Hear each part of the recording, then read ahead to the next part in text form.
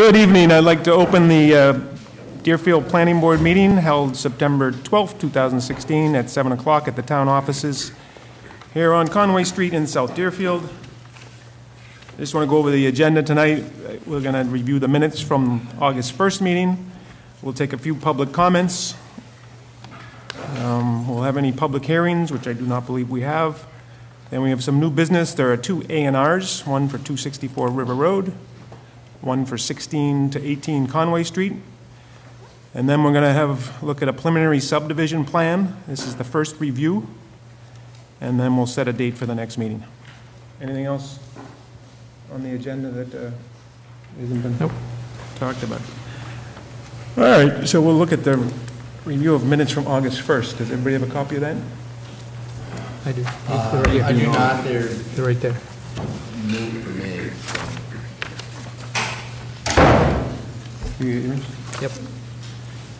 And I just want to be clear, we have a quorum, Paul, John, Kip, and John, and we might uh, get one or two more planning board members during the night.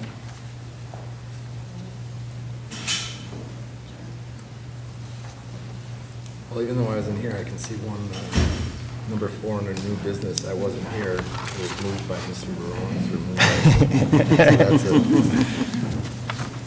So, Technicality, John, don't worry about that. what's That's that? a technicality, don't worry So don't just forget about it. it. Yeah, just. Don't worry about it. So I believe that was, was Roger that moved that, right? So if we can change that to Roger Sadowski.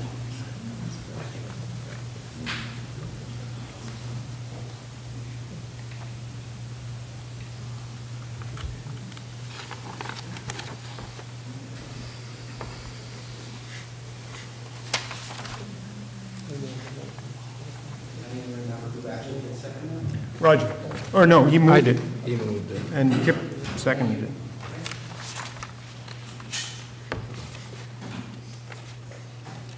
And then also on the um, 20 Elm Street, same, same thing on the second page.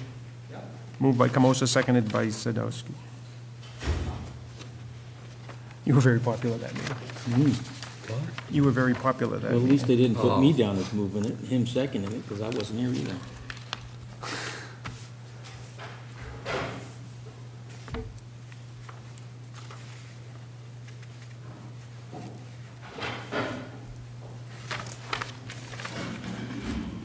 I'm good when you're ready. Want to make a motion? I make a motion that we accept the minutes as written, With the two. As amended. As as amended with amended, the no changes. number four, number five. Five. I second that motion. All in favor? Aye. Aye. Opposed, abstain? Abstained, because I wasn't here. Yeah. Were you here? Well, I was here, but I, because my, my- Oh, okay, I, so it's, uh, I think. uh, Three zero one. Because the amended amendments.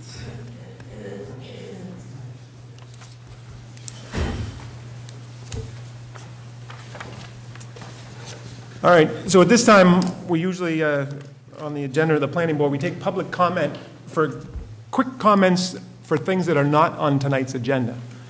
So I believe we have a a larger than normal crowd tonight because of a preliminary subdivision plan, which we're going to talk about later. But is, does anybody have a public comment about something that's not on tonight's agenda? Okay, we'll move right along. And we don't have any public hearings because the last one was, uh, we closed the public hearing on the Eagle Brook. We kept continuing that, but that's closed. I should, well, here, I'll ask for a recommendation from you guys. So we have two A and Rs, one of which might be more complicated than the other. Is, is anybody here representing these two A and Rs? The one on 264 River Road? 1618 Conway Street? So I might recommend we switch the order of the agenda. Does that make sense? sure. Okay with that? I'm fine. Because one of them might revolve, involve some discussion, and if we can move, since that might not be the most exciting things for people. Good? All right, so we're going to move to the uh, item number three on the new business, which is preliminary subdivision plan. So, we have received Form B, application for approval of a preliminary subdivision plan for a two-family senior housing development, and it's been prepared by SVE Associates, uh, Deerfield Assessors Map 164, and we have, um, Could, could you speak up just a little bit? we have the plans in front of us. This is a preliminary subdivision plan. It's for a two-family senior housing development, and it's uh, Deerfield Assessor, Assessors Map 174, and we've got the plans in front of us. The applicant is Mark Whitman, and the address is um, 73 Sugarloaf Street. So basically, since this is the first, a preliminary subdivision plan is not required by the town, what is required is a definitive subdivision plan. But this applicant has decided to do a preliminary subdivision plan, which actually helps us, as a town board, get to know what the project is, make some initial recommendations. We'll probably schedule a field trip to the site, and we'll then make some um, recommendations and then either approve or disapprove the preliminary site plan.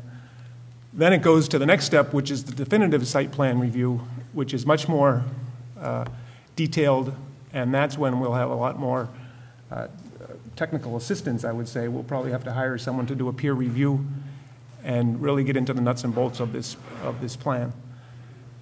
So just for those who are new to the process, the preliminary subdivision plan does not require a public hearing. So tonight is just a planning board meeting. We're going to hear from the applicant. The planning board will make some um, remarks on it. Hopefully, we'll have time, we'll take some other remarks, Um, and then we'll schedule another, another meeting about it. So if anybody has any questions during the process about the process, please let me know. But this is not um, a, public hearing, so there won't be too much input from, from the public. But there will be many opportunities along the way to get that. So I just wanted to put that out there, make that clear at the beginning. So with that, I'd ask the applicant, um, Mark, are you prepared to make a presentation?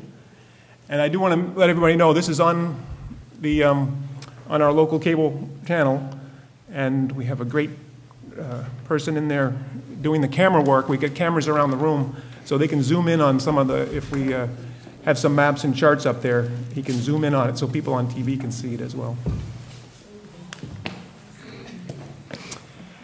I think, can we ask Pat to kind of come up and help participate with us? We know we're going to have. So uh, why don't, Pat Smith from the FRCOG, why don't you come up and join kind of us, because we're going to hire the Franklin Regional. Co- We like you over here. We're going to hire, we, we anticipate we'll hire the Franklin Regional Council of Governments to help us with some of the review of this, and Pat's our person, so have her up here so she can participate in the discussion early on, yeah.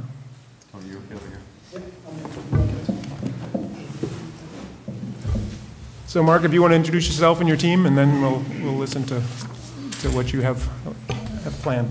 Sure. Hi, my name is Mark Whiteman. Is that loud enough for everyone? Uh, I live at 7 Oak Knoll Drive in South Deerfield. I've been there for 14 years. I've lived uh, in the valley within probably 12 miles of that location for about 50 years. Um, I've been involved in real estate and construction for many years. Um, This is Tony Wanseski, giving us his better end. Uh, Tony's from SVE Associates, they're the engineers on the plan, the project. This is Dan Graves, my attorney. Um, So I've been involved in real estate for about 30 years. I've done property development on a lot of real estate. Uh, I have five homes in Deerfield, so I'm uh, firmly affixed in town. I love living here. It's been a great place to, to be.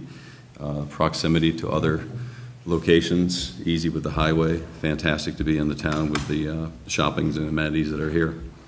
Um, One of the things I'm most proud of, having lived in this town for the last 14 years, having taken four houses that were blighted or condemned and bringing them back onto the tax rolls in a positive fashion.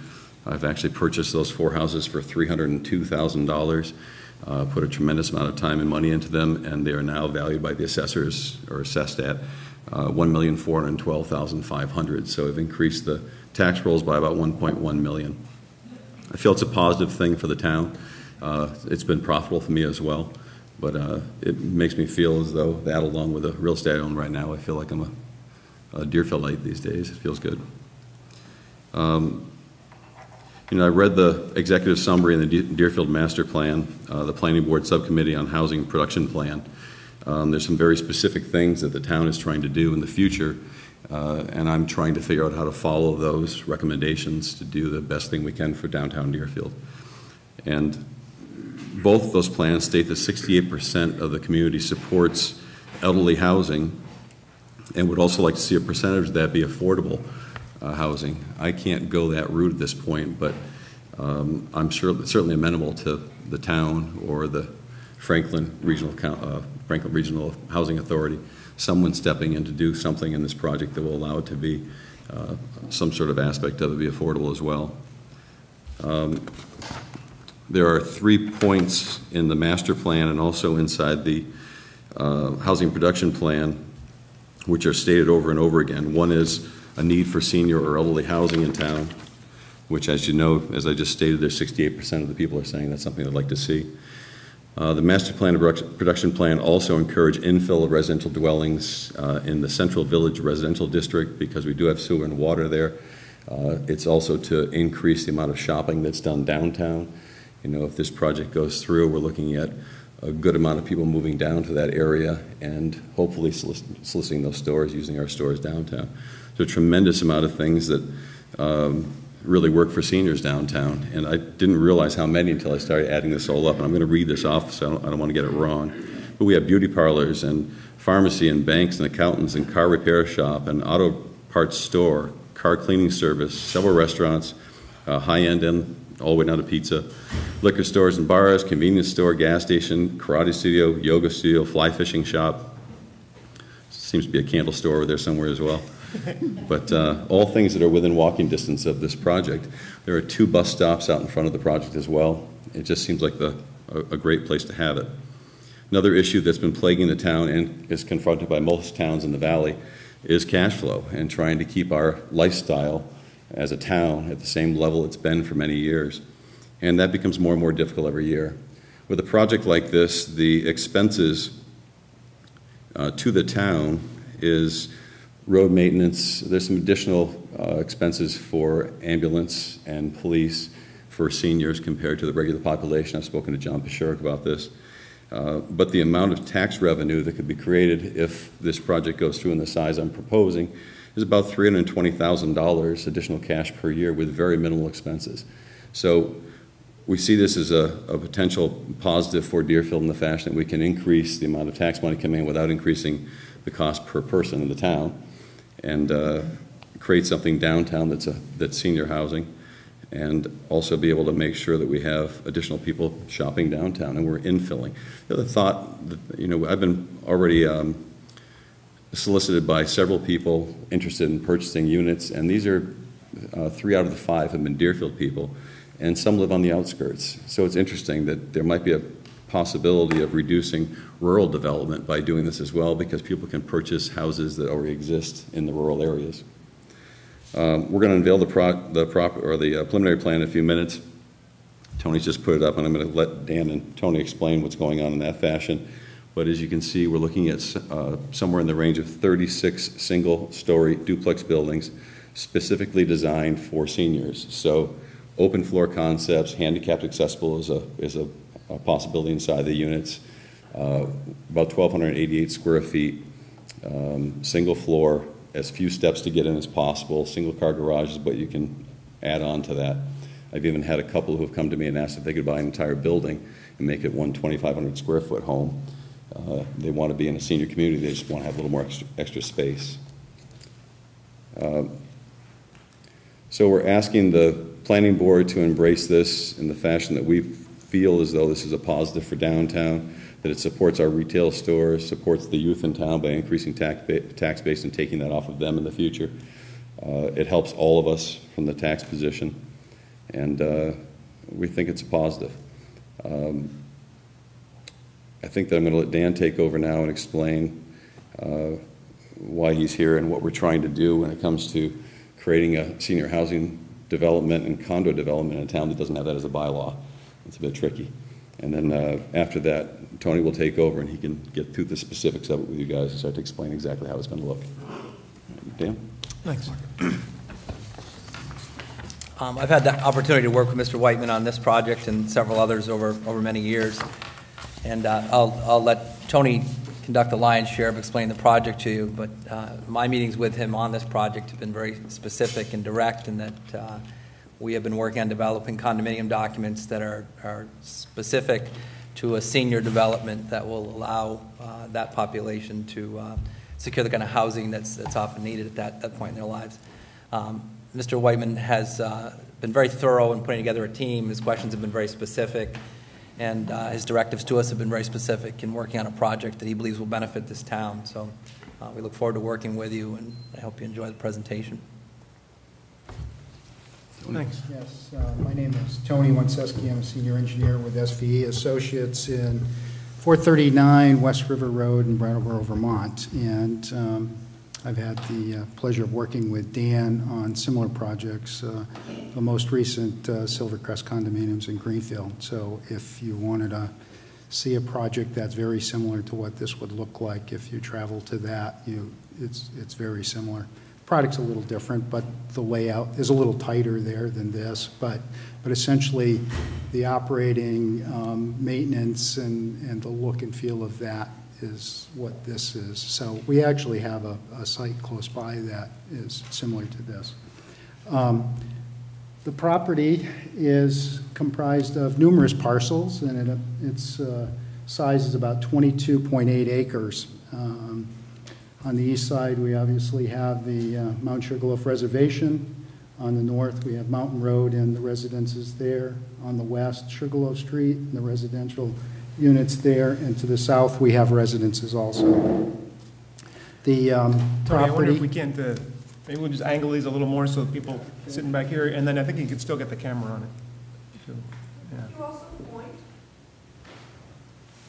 So I have a couple of exhibits here right now, and I, hopefully you can hear me without that. I'll try to talk very loud. the. But, uh, We have two exhibits here. This is a rendering of what the project will look like. This is a a rendering of the project over an aerial photograph, so you can get the context of the preliminary subdivision within the town. This dash line is a, is a a hiking and bridle trail, which is part of the uh, Mount Reservation. The main entry to the site will be opposite Kinkillock Avenue. We have a secondary site uh, entrance about 285 feet north of of the main entrance. You'll see that this is essentially a a loop road. It'll be designed to minor street classification within your subdivision regulations, which is a 50-foot right-of-way and a 24-foot pavement width. Uh, There's the internal road, so the looping is like this. We have one internal road. Uh, We also, so we have 36 lots with the 72 units.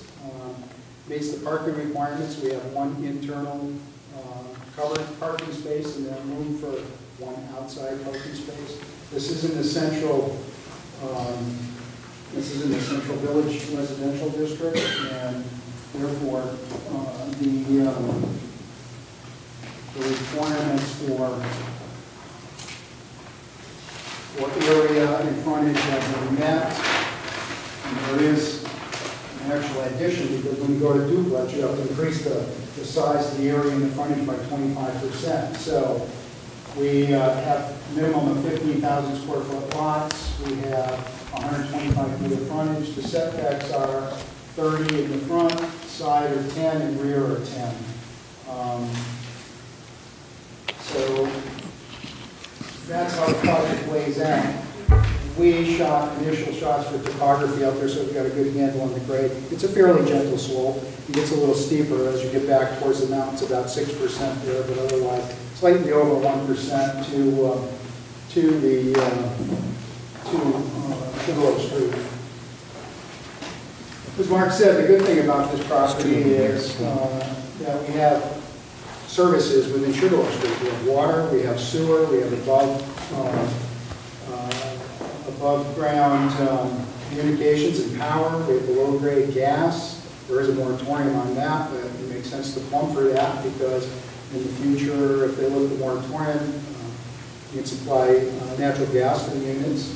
Um, The, uh, we did dig some holes out there, and we found that, uh, as we suspected, the uh, the existing soils are sand, loamy sand, and um, and sand, and so they're good materials to build over. Um, As you'll see here, that most of the development will occur within the existing fields.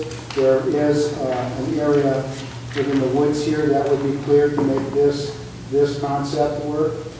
We also have two community lots in this subdivision. This is really nothing there. We haven't really decided what we want to do with that, but we did decide to do a community lot there, which has not been final design. If you look at the plans, you'll see that we have access to those, and we're looking possibly at a gazebo uh, of some sort as a community gathering space. Um, That subdivision that I told you about in Greenfield, I designed that, and actually my wife and I bought that first unit. We've been there for the last 10 years, and the community as a whole, every year we have like a community picnic, but we don't have a facility like that. We don't have like a community lot where we can all get together, and, um, and it's, usually people bring food, and, and, you know, we just all get together and have fun. So we usually have to do that at someone's, someone's driveway, or at the cul-de-sac, or something like that. So this would be a nice um, feature here to allow um, the residents to use that. And I mean, it doesn't have to be for community. I mean, uh, folks have grandchildren come over. This is going to be a lawned area so that the the kids could run and play. And uh, we just feel that that's a nice feature to the, um, to the subdivision. Another thing, there's three existing residences on Sugarloaf Street there. The lots will be configured slightly, and those residents which take driveway to Sugarloaf Street will no longer do that. We'll bring in new driveways to the new subdivision road, so it eliminates those driveway accesses on uh, Sugarloaf Street. Um, But we do have the two new um, uh, entrances that uh, we'll be applying to Mass DOT to uh, get approval for that. Uh, You'll notice that, um, I'm going to step on this side, I'll turn it just a little bit more, um, that we're trying to accomplish a couple things with the, with the roads here. On the internal roads here, you'll see that we're going to provide a sidewalk that for the residents to be able to, to walk, and that's why those walks are connected to the community. Here's the access. We want to bring a trail access to the hiking and bridle trail to, uh, uh, the Sugarloaf, Mount Sugarloaf uh, Reservation, so that residents would have access to that and can go north or south down to the main entry. So that's, that will help in the circulation plan. Um, On the outside of the loop road, what we're going to try to do there is we're going to try to do a little low-impact development, provide some swales, water quality swaling in there, which is uh, consistent with the town's um, uh, best development guide practices, which uh, more and more our designs and our developments are, are going that way. We, we look to uh, take a lot of storm drain off roads and put them into swales, into infiltration areas. And there is a considerable amount of water that we calculate coming off the mountain, and right now it comes, there's a northerly portion, a larger southerly portion, and you have some areas that die. They all get to the municipal storm drain system in Sugarloaf Street, and we're gonna do the same thing when we do this development. We're gonna take water coming off the hills, and we're gonna have backlot swaling on both sides, and then the internal, where we have berming, we'll have to have some catch basins there to pick it up, because we don't have the swaling. We will have swaling internal on this road, so half of the road will drain drain to swales, and we'll have uh, culverts at the driveways. And so, to be able to capture that water and hold that and control that, so we don't have a large, any impact to Sugarloaf Street, I believe there's some impact there now, based on our calculations and observations and conversations. Uh, We're going to create three infiltration basins. The community park will also act as, a- as an infiltration basin. And so this is where we'll collect water and meter it out to the storm drain system. There- This pipe down here where we have a strip of land, that pipe is crushed, is in poor condition, so we'll repair that, we'll replace that. Probably a different kind of structure, just in the pipe at the ground, will probably be a, a drop inlet structure or something of that nature and, and repair that. Our sewer and water systems will come in from Sugarloaf, and all of our communications and power will be below grade. It won't be above grade, we won't have telephone poles in there, we're required to put them below grade. You'll see on this plan that we do have street trees, and we will have some street lighting for security and, and that within the site, but minimal, just enough to, um, to, you know, keep it lighted at important places and, uh, um, and, and make it secure in the neighborhood. Uh, We do have, um, I'm going to go back to something which I don't think I mentioned, we do have natural heritage habitat here. It's, it's a spillover from the reservation in the mountain, and we've made application to uh, natural heritage on, on that with our concept and try to get uh, feedback from them um, on the development. Uh, We haven't received that yet, but our goal is to have that information back before we go ahead and prepare um, um, definitive plans, because at the definitive plan stage is where we really get the details, and all the details of the design, and the heavy grading, and all the, all the details that are necessary to be able to gain approval and to construct it. We're actually gonna design construction plans at that point, show the contractor how to build the roads and that. So, we do have a Mass DOT permit, we'll have a storm drain permit here. Our designs for this, as far as drainage, will meet the state code, it'll also meet the local. You have your own local storm drain or, or regulation here in town, we have to meet that. We have to come before the planning board and get a permit for that also. That'll be in, in, uh, consistent or at the same time as we come for a definitive plan, uh, subdivision plan approval. Uh, Depending on what happens with natural heritage, I believe we'll be filing uh, environmental notification form with the state as part of the MEPA process, Massachusetts Environmental Quality Act, that gives uh, numerous agencies the opportunity to, uh, to review the project and look at it. Uh, But essentially, it's, uh, it's, it it meets the code, it's a permitted use, uh, duplexes are are available, or or permitted use by right in, in this district. And uh, we've laid it out so that we have a lot, you know, we have some good green spaces in here, um, so that, you know, it doesn't feel, I know it probably feels, it looks a little squished, but it's, uh, it's, it's pretty open, you'll feel very open. Uh, There are a couple of design exceptions that we're asking for with this subdivision. Uh, They're in the code, because Sugarloaf Street's a pretty major road, it requires uh, intersection spacing of 600 feet. Uh, We're asking for a design exception to go 285. There are numerous intersections in town that don't meet the 600, um, and we did a little analysis of that. But um, we feel, and this will be really a Mass DOT issue when we go before them for the permitting of those intersections.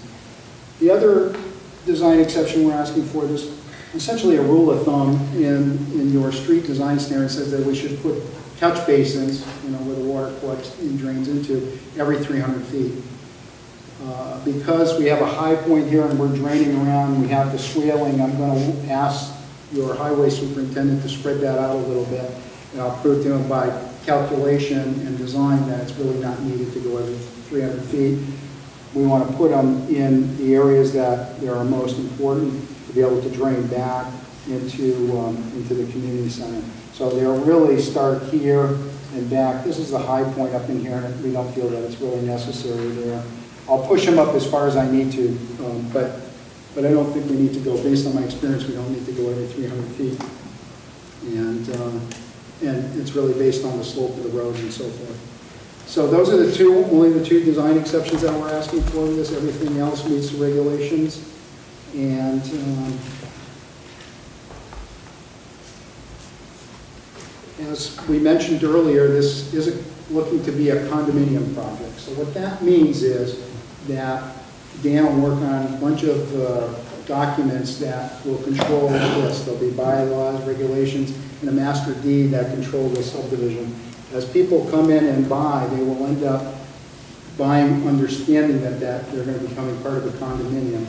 And they'll pay a fee, and a monthly fee, and what that will go to is the operation and maintenance, one portion will be to the operation and maintenance of this facility. So snow plowing, um, landscape and maintenance. So the project will look consistent. We won't have individual, I mean, depending on how tight they do it, they may be able to do something different with a deck or something, but the project as a whole will be maintained. It's all common areas.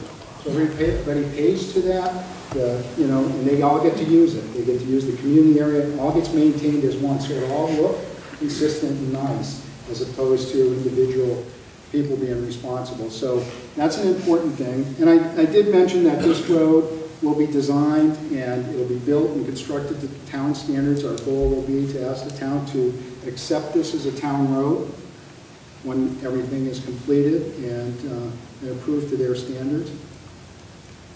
And going back to some of the planning documents in the town, which have worked very hard uh, on and received grants and money. This subdivision at Mountain Road is the limits of your complete streets study area and livability plan. So it's just outside of that. But there are very uh, numerous, numerous, numerous recommendations in there. And this project actually meets a lot of those, which is why we feel it's such a good project. Um, It increases the availability of use of public transit. As Mark said, there's two transit routes that run here, Franklin Regional Transit, Pioneer Valley Transit.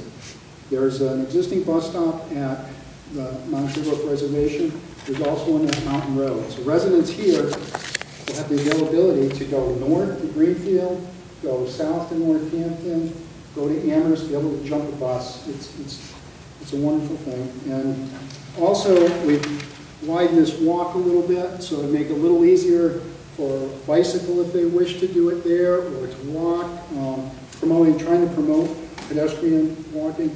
The project is about 3,500 feet from downtown. So it's very walkable to get to downtown from there versus um, having to jump into a car. There's, um, um, It creates new development areas served by existing not only transportation, but we have the water and sewer. Um, And that's, that's an encouragement. It encourages development to be in places like this. Where do you Well, propose to put the water and the sewer? It'll be in the road, Pardon me? in the road. We're just going to tie off of existing facilities and, and it'll run in the road. These buildings are going to have basements? Um, Some will, some won't. We're gonna, we're gonna We hold don't know. on That's pretty detailed at this point. Um, Tony? that. We're gonna hold off on questions, let them finish, and then we'll, I mean, It also, it also encourages the use of low-impact development, which I was talking about, the swaling and the infiltration basins and and putting the water back into the ground, um, which is a strategy being employed throughout the state and really more than just the state, it's up in Vermont, New Hampshire. They really uh, are encouraging that. Uh, This provides housing for the town's aging population, it's single-floor living, uh, which is great. Mark can talk more about units if he decides to. Um, And, and the last one, it's, it, it provides housing, which is in close proximity to the downtown village. Um, The housing production plan that Deerfield went through and just um, created a plan on that. Um, It encourages the development of more duplex homes, uh, trying to increase the percentage of those. This does that. It it provides more options for older residents when they uh, want to get out, uh, downsize. uh, This gives them available location to go to. Um, In our subdivision, we have um, very few people that are under 55. I think we have uh, a few. One of them is a police officer, I believe. So it also in our development, it's not restricted, but it gives some of the professionals uh, an opportunity to buy in at price and, and be able to, uh, but I would say ninety percent of our residents are retired, and, um, and it's worked out well. So based on all of that information, we hope that the board and the residents will really um, uh, agree that this is, this development is a really good use for this property, and we look forward to hearing from the board and the public uh, on any suggestions you might have to make it better. We're really enthusiastic about this and can't wait to move forward with the definitive plan. So, Thank you very much. Thank you, Tony. So I think one of the first things we want to do, so thanks very much for giving us the overview of the project. The first thing we want to do is just to make sure that we've got, the application is, um, is in the order uh, according to our bylaws. And so I actually, Pat Smith and I looked at it the other day. So in our subdivision of land, Chapters 264, subdivision of land, we've got the purpose, authority, and what we need. So preliminary plan, there's a bunch of contents, and I think you've already given us seven copies of this, so Pat, do you want to help us just go through and make sure that everything is, and there was a couple of questions we had just on Yeah, what they've the, um, submitted. the section of the uh, subdivision regulations that the chair is referring to is 3220. It's on page 26413. And that lists the contents of the preliminary plan. Um, This may tell you something about the age of the subdivision regulations. It says they may be drawn on tracing paper with pencil. So, uh, they're, they're way ahead of that. One, you give them a gold star on like real paper and, you know, actual plans. Um, And uh, there's a list of uh, A through M here. Uh, As the chair noted, we did meet last week and um, felt that everything was addressed, with the exception that there maybe was a little bit more information on the present widths of streets and public ways that are bounding, approaching, and within reasonable proximity. Um, Some of that information is there, I think, for Sugarloaf, and at least one of the sheets we saw. Probably Uh, King but Philip, too. Maybe a but- little bit more, but, uh, but, you know, that's a very, very picky item, because I think, uh, otherwise, it was our assessment that I'm going, and I did go over them again since we met, too, just to ensure that. Um, So, uh, it's all, I think that these are very extensive and well-prepared plans, um, far beyond what is typically a preliminary plan, so I think the board can uh, feel comfortable in reviewing it and, and coming up with uh, any comments and suggestions for ways you might want to improve. The other thing I want to note is that um, I think the Board of, it talks about the Board of Health getting involved. The Board of Health is supposed to be acting equal, the Board of Health in town here is the Board of Selectmen. They act uh, as the Board of Health as well. So um, both the Planning Board and the Board of Health have to separately review the preliminary plan and file a certified letter um, within a 45-day time frame indicating um, their decision in regard to the plan. So I know, Kip, you're on both boards, which is great, because you can provide a liaison between the two. So um, each, each board will need to take action, and as the chair mentioned, I think, um, good idea to, to do a site visit, so everybody can see it, and would certainly make sense for the, the two boards to, to convene at that same time to do that. And actually, that's a, a quick question. What's your, um, your, your ownership or your uh, control of the site at this point? I have, uh, Good. We want to do a site visit? We Money. wanna- we can go on anytime. Uh, have uh, access to the larger field anytime. I own uh, both houses on the property already. Um, And uh, John Gripco's piece, which is 5.6 acres, 5.6. There are, there, just to be clear, there are the two parcels. There's the lar- larger Grits parcel, and there's also the Gripco parcel. And I, I know at the beginning of the hearing, you mentioned a specific zoning lot, but there is a separate lot that we're also under contract to purchase pending approval. And we thank you for supplying that Right, is- that is on there. purchase and sale Yeah. uh, agreements. So, so that, so you do have control, we can go Correct, anytime we and do want. some, do some walk around.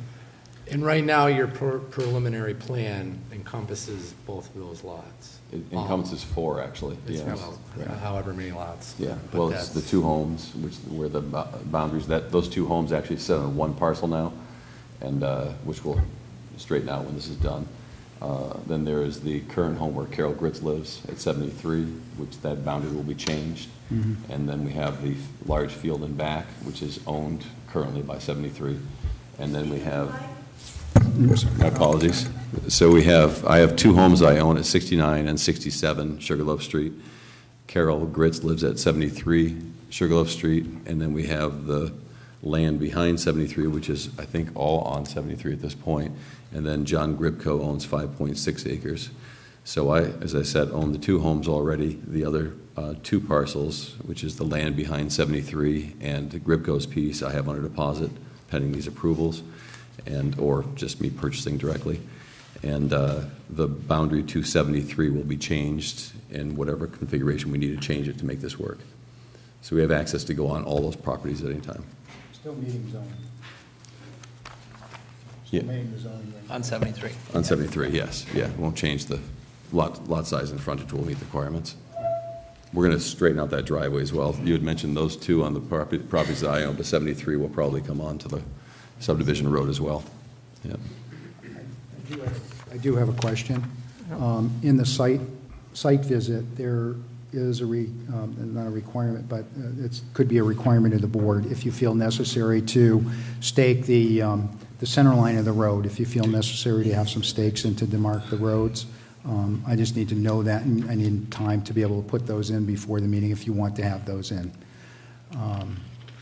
Which, which road, that, you're talking both entrances? Well, the loop road or the middle road, if you wanted to have those, a few stakes in so you knew where that was, and when you went out to look, you could get your bearings. I mean, we do have woods um, on the southeast corner, so that kind of gives you some sort of a landmark. But I just wanted, if you wanted me to do that, I needed a little time to do that. Well, certainly the, the the two entrances, knowing those locations. Okay. would Certainly be important. I would think particularly because you're asking for the waiver, Yeah. that is something that would be really important for people to get their heads around visually, the sight lines and Yeah. so forth. It's think- pretty open, so it's not, a it's not a huge issue to throw some stakes in. there. I think it might be helpful, but I, I wanted, if you didn't think it was necessary, I wouldn't do it, but I wanted to make sure. I mean, I know one of them is right across from King Philip Ave. Yeah. I think it basically lines up That's, directly with it. that's correct, The other one, if you could stake it so we'd know. We could do that, yeah. And then we'll be present anyway for the walk, so we can walk you through the rest of the location. Was there anything else that should, would help to be prepared ahead of time? John, do you have a, um, a time where you're thinking for the walk? You know, we haven't, so we need to discuss that. Um, So, and maybe Doug, you can help us with our time, or, or do you know, our, there's a little calendar started when you submitted the I believe the application. 45 days is up on November 9th, is that, I haven't have you calculated. calculated it out? October. Have you done that? I think it's October 9th or 10th. Right, August. Oh, okay, I'm sorry, October, yes, I'm sorry. So the plans were submitted August 25th, and I should also say the fee was paid, although there is a correction. Have you got the word on that? You're giving money back? No. Never works out. I think we charged per lot, but we didn't charge the general fee. There is an application fee of $300 that I did not do. And all of these fees then go, also uh, go to the definitive plan, so you don't pay extra by doing the preliminary plan. And is, This- does this, I- I'm glad you brought that up. Does this money go toward uh, the fee for review, or is this just separate from that fee? That's separate. This is more of an administrative, administration kind of fee, and then a peer review is a separate one that the applicant also, and we'll try to get you an estimate on that. That'd be I be brought an estimate today. Look at that. For, at least for the preliminary piece, so Right. Thank you. discuss that in more detail. So, so October 9th is when we should have a decision. Doug, is that what you're saying? I'm doing that. August, I always just count on the calendar when I do it. I will say, though, 45 that days, yeah. It's 45 days, but there is no constructive grant associated with a failure to act within that 45-day timeframe. So while everybody wants to keep to it to proceed, there is no consequence, similar to like an A and R plan if you didn't sign it within 21 days, where it would automatically be approved. But I think there's not that complicated either, and especially given the nature of the plans and how well they're done. As long as we can get that site visit in, I think we can meet that 45-day timeframe. So, The 45 days is October 9th, which Right. is Sunday. October 10th is a holiday, uh, Columbus Day. Uh, The planning board meeting is scheduled for October 3rd. that's what I was going to say. So if we could do it before October 3rd, then we can continue this, and then we can have a more open discussion at our next, at the first Monday of October's meeting. So, I knew that was going to happen. My calendar just died. So, let's come up with a day. Um, Thanks, Max. Auntie's just joined us, a planning board member, so now we've got five out of seven. Um, And I know we, we got regrets from the other two that couldn't make it, but they'll watch the, watch the video and uh, be able to participate in future discussions. Um, So, so again, I just want to remind everybody that the preliminary plan is for us to look at, give lots of comments, any things that, you know, we have concerns about, let the applicant know. Then they go on and do a definitive plan. That is much more thorough, pages of requirements, um, and that's when we, we do have public hearings and everything. So if we're talking, just to let sort of, people know, if we want to do a site visit and then October 3rd, continue this, soon after that, hopefully by October 9th, have some kind of uh, approval or modification or disapproval of the preliminary plan, then you'd file the uh, definitive plan, and then that might be several meetings long. So, um, so that's kind of the way, the way things are going to go forward. So when do you want to go there? Is a, uh, I think for the next couple of weeks, the sun sets at after seven, so is, is 5:30, 6 o'clock a good time to, some night? For me, it would have to be a weekend day. Yeah, And you go during the week on certain days, but just have to know the day. any constraints on, I can go anytime during the week. yeah, during the week would be better. Are you looking at during eight to five kind of range time, or? or- No, I'm looking at like 5 or 5:30 or 6 o'clock. Okay, on a 'cause You week. could always make the date, and I'll do Yeah. my best to make Yeah. it. That's, So my only problem is I have meetings on some nights, so, but during the daytime, I'm free all day long, so, or I can be. if I- Yeah. Problem for other people. That's okay, no, I'm just, You're welcome to come over. If you can't make the walkabout with us, you're welcome to come over. Well, and take that's the a look other if thing, we could want have as two, two of them. And those aren't, those aren't public, those are for the planning board? They don't have to be posted. Yeah. I mean, I guess the, the thing is, everybody, this, we, we certainly want to be as transparent as possible, and that's what, I'm glad you're doing a preliminary, and everybody can, these, um, I should say that, that these plans are available at town hall between nine and whatever the town hall hours are. So anybody from the public can come look at them anytime they want, and, um, we all know where Sugarloaf Street is, so. um, But it would be good for as many of us as possible to get together, um, down there. So, you want to put a date out? You don't, when when you don't have a select board or something else? Uh, how A- a- Actually, it could You, be, you guys pick a date, because I'm, I can, Monday, the twenty-sixth, is that? it could be good to have the, the select board as the Board of Health also on that site visit too, so. Trevor? Monday, what's that, Monday, the 21st? Monday, the twenty-sixth, Works for me. or do you want to stay closer to today than, No, that's, that's actually good, that way if something else comes up during the, okay? during the next week. That, That gives me time to, to put the stakes in and mark those, so that's, that's fine with me. That's free on my calendar. And I have the old school kind that doesn't die on it. 6 o'clock, 5:30? What if you run out of ink? I get my quill Five- pen. Like 5:30, 6 o'clock, Want whatever. to say five-thirty, or? Let's say 5:30. Okay. But it doesn't beep or vibrate to remind you. No, this is true, it doesn't do that. So we'll meet right down there At on the uh, site. Sugarloaf Street at the site? And you can pull in uh, the drive of 67 and 69, just park on the grass. It's fine. Did you say sixty-seven, sixty-nine, is that the combo? Okay. Correct.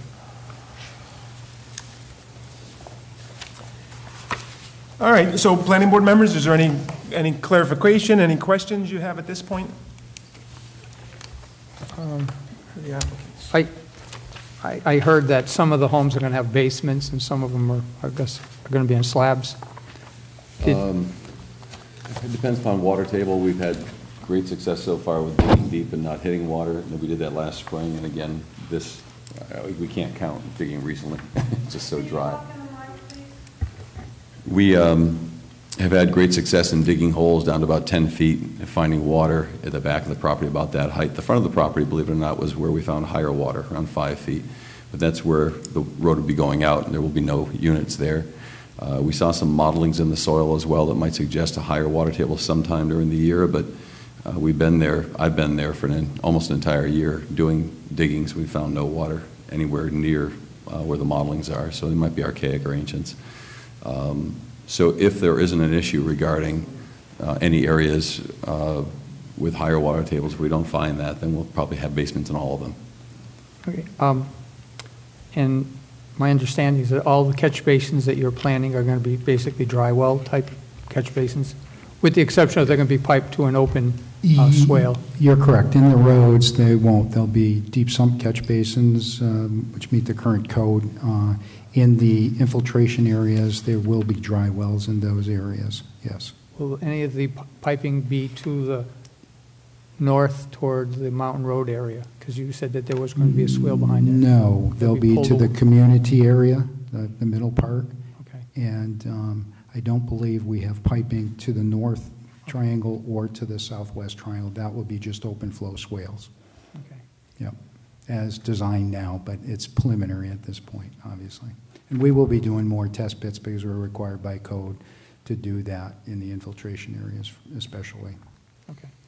Now, this doesn't have anything to do with site plan review, but you say that this is going to be senior housing. Are you, is there going to be any deed restrictions to ages of people living in these dwellings, or? Uh, We haven't quite developed how that will occur. Um, It may be a deed restriction, it may be contained within the condo master deed, which would then be binding upon the land. Um, We've been consulting with, with experts in Western Mass on how best to do that. Um, I don't think this evening we're quite ready to say how we're going to do it, but that's the focus and that's the goal, and everything that's been developed has been done with that as, at the forefront. I- I've always been curious to this, is if you have senior housing, and even if there is a deed restriction, and, and people live there for, live out their lives there, um, then their children inherit the property. How, can the children live there, or they move in, how are they restricted from that? But Typically, that restriction would be enforceable, and those children would, would need to secure uh, either a rental for someone who meets the guidelines, or they'd have to sell the property, but, I but see. no, I mean, you do run into situations where parents want their grandchildren to come in or something like that, and it's typically not allowed. Okay. And with a condo master deed or with a deed restriction, it's, it's not, not impossible, but virtually impossible to change. We're trying to make sure, again, transparency, so we're putting up a, oh, I'm sorry.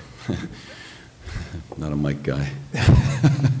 We're, uh, again, trying to be as transparent as possible. We worked very hard on trying to come up with some designs that we think are going to be very um, advantageous and and interesting to people of that age group. So anybody's willing to come up here after the meeting for a few minutes and take a look at what we're proposing. This is the duplex on the right-hand side, obviously, the floor plans, and this is the elevation on the left-hand side. There's not much you can do on the outside. They all look about the same, unfortunately. Uh, But the inside is fairly unique. The left-hand side, if we're looking at the left-hand unit, the left-hand side is a vaulted uh, ceiling from the front to the back, so the vault is over the kitchen at the highest point. The entry foyer, which is quite large for a condominium, will also be vaulted, and then the bedrooms will have lower ceilings. The concept here is we want to give the feeling of volume, but we don't want to have it so ridiculous that it costs more to heat and- and keep AC in. And of course, these will meet the stretch code, it's required in Deerfield, but quite frankly, and I think Kep can probably um, validate this, anybody that's decent in building has been doing what the stretch code requires for quite a long time. It's uh, just, it's common sense building.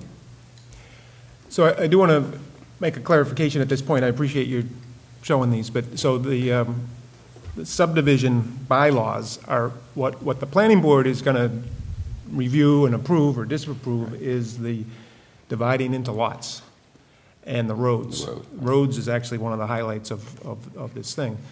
Um, And so what goes on those lots is not under our purview.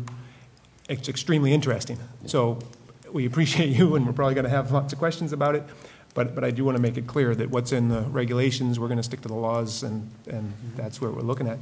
So kind of, I think, one of our major things is we're looking at, at this is like, the, the most that could be on there is 62 lots with a duplex, or or 36 lots. Yeah. With duplexes meaning 72 units. But as you mentioned earlier, that could change. Uh, Someone, you know, an individual could buy two lots or something and Two have. units, have- yeah. Or two units, or even two lots and Yeah. put one house on it. Yep. So that becomes less of a town, the planning board has nothing to do with that. Right. But what we will be looking at is, is the, are the lots the right size and shape, and is, stormwater is a huge issue for the, Yeah. the planning board and all the boards, I think, in town. Um, Circulation, traffic, uh, safety, those are the highlights, and so we'll use your potential of 72 uh, units kind of to, to frame that, Right. so.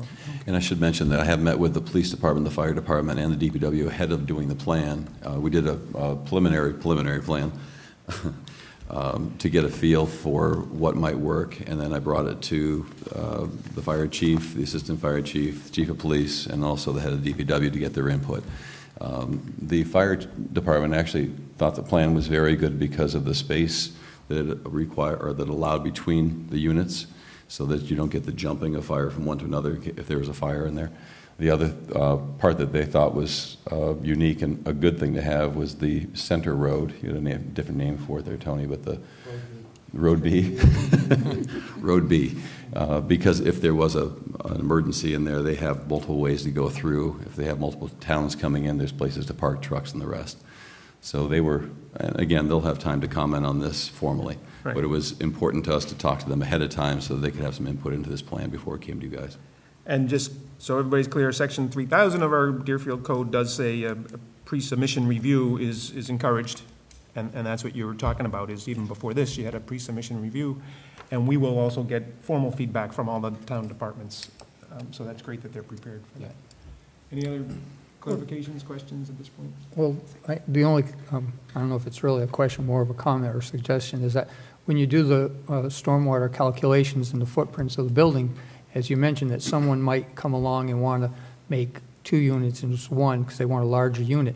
Um, If you do all of your calculations off of the exact same building, and then all of a sudden these people want to make it bigger, twist it, and increase the footprint, then you would, even though it's minute, it might cause a problem for you. So maybe you should leave some leeway in those calculations as far as, you know, uh, overhangs and things like that. Do you know what I'm saying? We pretty much designed most of that uh, conservatively anyways. So um, with this type of a subdivision, because we know it's going to be a condominium, we can really plan much more for it. When you do uh, a rural subdivision where you're selling lots and you don't know what's going in, uh, it's very difficult to have large infrastructure to handle that. And you more or less have to put the burden back on those individual homeowners to be able to solve those problems as they develop each lot good thing about this is we at least have a pretty good benchmark. Um, and it'd be hard to increase on these. As you see, the, the units that we're putting in really have space because the zoning regulations are extra large with the setbacks. And you'll see, if you really review these, you'll see dash lines that show the setbacks. Um, and we're not to the edges on all of those. I mean, most of these buildings are 40 to 45, 50 feet apart, which is more, I mean, we could be as much as 20 feet apart in the zoning. So um, there is room to grow on these, but um, um, I would think a condition or something that would have an individual lot, if it changed big time, big, big, big, in any large way, would have to be reviewed somehow at building permit time or something. And I would just add, you know, never say never, but the, the, kind of the nature of the condominium project would really not allow for a substantial deviation from what's, what's being proposed. And again, it may be slightly beyond the planning board, but what happens inside a building may, may be changed, but I don't think the, the footprint is going to be able to change very much and still comply with the, the condo laws. The point's well taken, because there was a situation in the condo association that was um, just recent, where they were adding sunrooms, and it wasn't figured into the calculations, you know, so they, they had to, actually, I think the homeowners are required to maintain the exterior of the sunrooms because it wasn't in the calculations. So my intent is to keep, as I said, I have one couple who's already asked if they could buy an entire building, and I said, absolutely not a problem, but you'll have to maintain the look to be approximately the same look and size as the exterior of the other building. So we're keeping that conformity inside of it. Yeah, interior, it's all trusses, so they can, you know, put walls wherever they want, but the exterior will have the same size, give or take. Sure. Yeah, that's a good point. And What was again, the- that comes. What was the lot size? I- You said it, but I got it- didn't catch it. 15,000 square feet, 125-foot frontage. Yeah. It's a 25% increase from the single lot requirements. Yeah, okay, just curious. But that, that's in line with the zoning? That's For correct. the center, Yes. center village Yes. uh, Yeah. residential, all right. I'm going to open it up if, um, Well, oh, go ahead, Pat. I have one Yep. question. I'm going to open it up in a minute. Just in terms of the waivers that you were requesting, I was going over, as you had mentioned, this is a minor street, so you do have it at the 24 feet paved width and the 50-foot right-of-way. But when I looked at section 4230 for the minor street, it requires that the first 25 feet from the street intersection have a 74-foot right-of-way, and I wasn't clear whether you, you actually managed to get, do that, especially with them being so close. So if you're not able to do that, you might want to add that to your list of waivers. Uh, We did add that. It's in there if you really look at the lines. It's hard to see at 40 scale, but it is, and actually, I think we pushed it back 50 feet instead of the 25 or 30 they required. It's, it's allowing for a larger bold at the intersection in case there would have to be some taking or widening. We are providing that, Good, though. as long as it's there, excellent. I'd like to hear what other people have to say. That's, yeah, that's where I'm going. So, so I'd like to get some uh, questions from um, residents of, of the town and the public. Um, I don't, so I'd like to just say, I think this is probably the biggest subdivision that's been proposed in Deerfield, certainly in my 16 years in town, and probably in many people's here. We have had some subdivisions, and I'm sure people have opinions on, on the good and bad of that. So I want to hold off on opinions, but certainly any, any questions and clarifications, so clarifications, the applicants, I'm sure would be happy to clarify. And then really what I'd like is questions aimed at the planning board, things that we should be on the lookout for. Um, You know, we have obligations according to the town bylaws and laws, the mass general laws and things. Um, And, and you're all welcome to read those, as, as Pat has thoroughly read. So um, that's, that's sort of what I want to do for the next 10, 15 minutes here, is see if people have some points that we should be, be keeping in mind as we review this project. So, anybody, question, clarification? If not, oh, oh, yep, sure. You want to just state your name and, I live on Sugarloaf, Sugarloaf Street. My name is Jane Fisher. Uh, I have um, a concern. Uh, I'd like to see on the plans the proximity to the houses that are not part of their design. I'm concerned, I don't live near that. I live at number seven Sugarloaf Street, which is quite far from that. Uh, But I know that when Hillcrest was built, there was uh, not enough real concern for the uh, abutters, and I just don't see um, where their positions of those houses are vis-à-vis this construction. I also have a serious complaint. A duplex, in dictionary definition of a duplex, is a two-story apartment. A triplex is a three-story apartment. I just looked it up. I've never heard of a duplex. This is a two-family house, which is fine. It's lovely, but it's not a duplex. Um, So my, my concern is for the neighbors. I'm also concerned about the, um, the, the water table. I understand that they're testing for that, but I'm assuming that we as a town have our separate testing for that as well, I hope, because uh, that was an an issue with the sinking of 29 basements for Hillcrest. That was an issue to the people who surrounded that, um, that project. Also did not affect me. Thank you. thank you, and that, that reminded me, I should have, maybe I should have said that the uh, Conservation Commission, uh, there was a, was it a letter of intent that you, was submitted to them?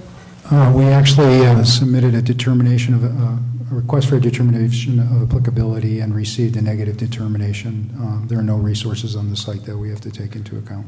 All right, so the towns, the Deerfield Conservation Commission has already reviewed this and determined that there's no, it's not under their jurisdiction. That's about wetlands primarily. Wetland resources. Wetland I made a mistake, not Hillcrest, Crestview he called it, you know, whatever. Yeah, yeah.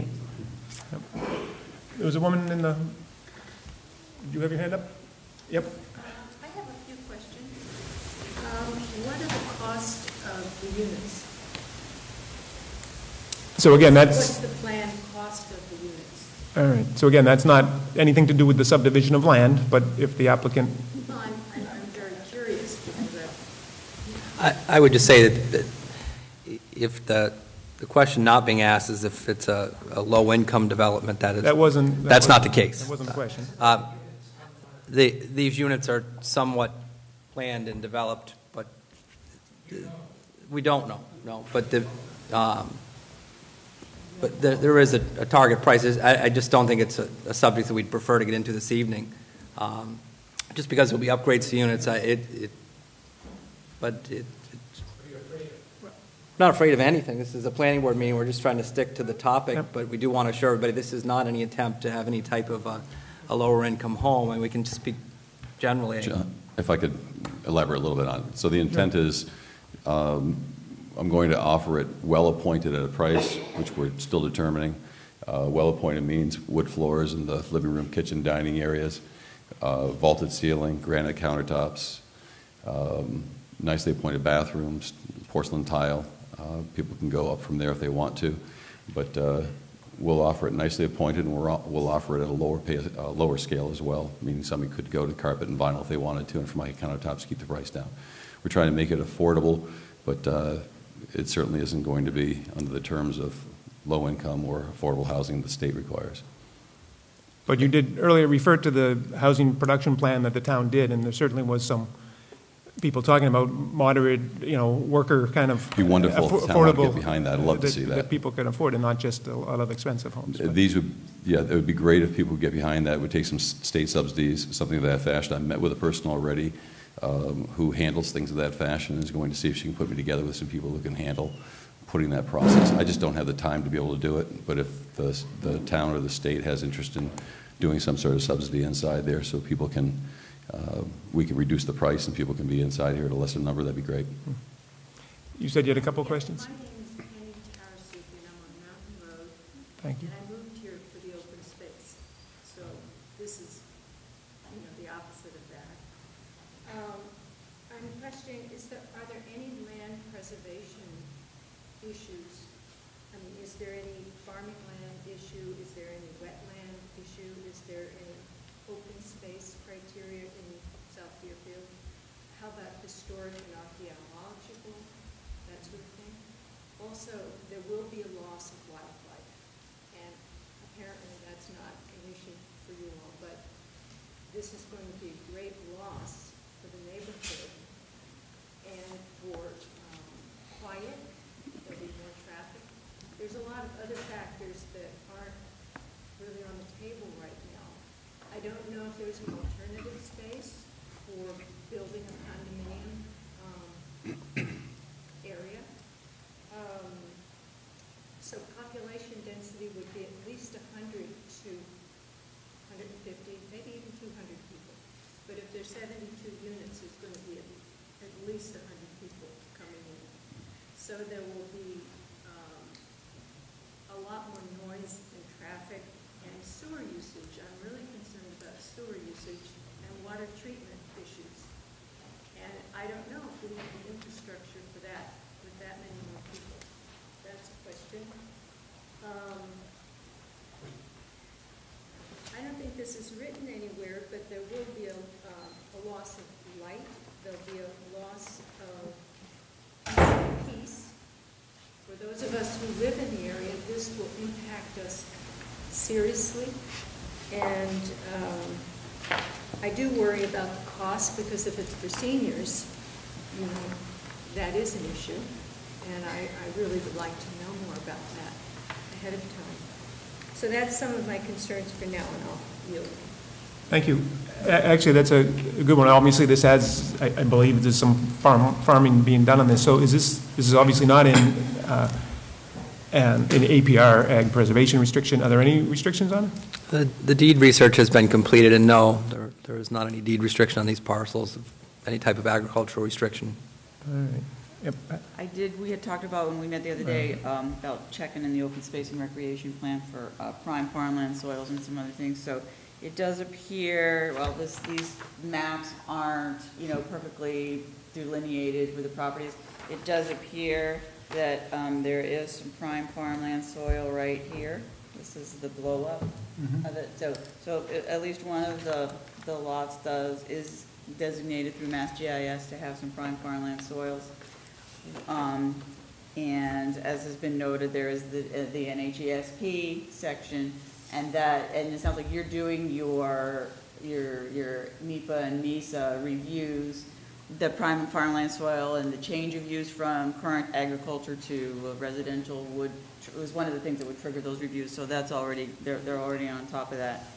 Um, And it is also true that uh, one of the properties is currently under 61A, so they are receiving a tax benefit for purposes of conducting agricultural uses on that property. So they'll, I, I I assume that's one of the ones that's still Grip under, co- you Yeah. know, your P and L. It expires now, but So that will, Expires that, when? uh, I think the end of September. Oh, I believe it expires the end of September. okay. The contract is conditioned on the seller removing that from 61A in conjunction with the closing. So the, the 5.6 acres is under 61A. Correct. Some question over here? Yes, sir. Your, your, your name, please? Conservation Commission, um, you said, yes, approved the proposal because there's just no surface wetlands. That is the only thing they were concerned about. They are not concerned about groundwater, water running off the mountain, various aquifers or whatever below the surface is not their jurisdiction, so they do not have any say in that. However, this whole area at the foot of the mountain is a receiving area for all the water flowing off Mount Sugarloaf. And there's a lot of subterranean flow in the sand layer that's above the clay, and this is why disrupting it with various foundations affects how it flows underground and shifts the water over to other people's basements and things like this. This has already happened in the area, and it seems like the planners are not really, the well, designers are not really discussing this in detail, because they're only talking about like surface runoff from a storm. But it's, the reality, the problem is the underground water coming off the mountain, where that's going, how it's going to be deflected by this development, where it's going to go. Just putting a catch basin in the middle of the place does not solve the problem, is where's that water ultimately going to go? It's just going to go into the ground and sideways somewhere. The Question is where? Yep. Have they addressed any of those concerns? The- Well, we initially have gone out and dug some test pits to, um, to look at stuff. And, and yes, you're right, it is a drought, so we'll do it again. We have to do more. Yeah, and we dug them um, in the springtime, so um, we have more investigation to do. And um, in our definitive plan, we'll address that. So I, I I can tell you that um, I've been on the planning board for quite some time, and, and, I don't know, 75, 80% of the issues we talk about are water-related, I think. Um, So that, that will be thoroughly discussed and analyzed, and we'll bring in specialists if we need to, so, yeah, because, I mean, groundwater is an issue for probably many people here, and basements, so, thanks. Yep, in the back? The problem with the water there is not just on that site, but the water is up on Mount Sugarloaf, and that is the sponge that feeds that land. So any drainage system that's put in has to address the water that actually isn't on that site, but as they remove the surface water from that site, the water comes in behind it and fills, so they have a constant flow of water coming off of the Sugarloaf Mountain, both north and south. And that is a major problem. Second, on Sugarloaf Street, it has become the bypass. Years ago, we put a bypass in to go around town. Now the people go up Sugarloaf Street to get around the bypass, the traffic on there now is horrendous. And the lady said that there would be a loss of life. I'm surprised it hasn't been already without this development. To have two roads in close proximity when it's supposed to be 600 feet, 600 feet was the road, I'm asking the question. If that was put in to protect us, not to, not to apply for a waiver. I had a conversation with Mr. Whiteman, and we were discussing regulation. Well, perfectly good airplanes fall out of the air, tractor trailers fall over, banks fail, and developments get put in sometimes following all the regulations, and you still have problems. So these all have to be addressed. There's more, our sewer, all that. People aren't gonna walk from here to the center of town. Thank, thank you. The, um, could I, Pat, so that is, who, um, is that us? Who gives them the waiver for that? Well, I think Well, the curb cuts is this- really in the end. It's, I I would assume it's MassDOT in the end that would be. it's they that waiver, control but it- that. But it, it- it's part of your regulations as well, so you can address it and give your recommendations to MassDOT, I guess. No.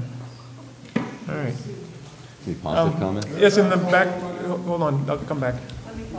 So we have little kids in the area, and I just wanted What, could, your name and where you live? Sorry, I'm uh, Missy Novak, I live in, on Sugarloaf Street. We've got little kids in the area, we've got a preschool up on Sugarloaf Street, we've got lots of people that are walking back and forth. Is there anything with adding this many more cars to the area? I mean, they may use the bus, and there may be sixty-two households that are all using the bus, but if they're not, and they have cars, and they're dumping on Sugarloaf Street, is there any formal process for figuring out what that does in terms of safety on the street? Because I think that that's a, a pretty big concern with as much walking and kids and people heading up and down the mountain. Yes, traffic is definitely an issue that we, that we look at and analyze and figure out what the town can handle. Is that you guys Yeah. that does that? And it's- So, so, well, I, I should go back and forth. There's certain things that are by, by right for, for development, and then there's things that we can approve or disapprove, and then there's things, recommendations we can make, and then there's things the town can do. You know, I mean, he, he mentioned that people are using it as a bypass already, and, you know, maybe the town wants to think about that and do something out at the corner of 116, you know, so there's things the town can also do, but there are things the applicant can do, so. I will say that Sugarloaf Street right now has about a five or six thousand car a day volume. So, you know, with the seventy units, I Did you don't get think that as from the far as police traffic. department? Because there are, there are traffic studies. Yeah, those are the kind Yeah, of. we could- we could- Well, that's what they're gonna ask them, and they're gonna submit those kind of 54, counts and everything. Tho- Those are the things that we'll be working with Mass DOT on. Right. If they require us to do a traffic study, we'll have to do a traffic study. I'm sure they have the numbers and have a good feel of what the impact of this I think development the will be local police on, have the figures on for Sugarloaf Sugarloaf Street. Yeah. Street, too. It was in the planning board's, it was in the planning board's um, information as well. Yeah. Yep. Kate? I am taking consideration of standing right in front of this. So I support all of my neighbors and their concerns, and I'm just not clear with this process where we really get an opportunity to put them out. I understand what you do is limited. Right. I'm just really not clear where we can have input on this.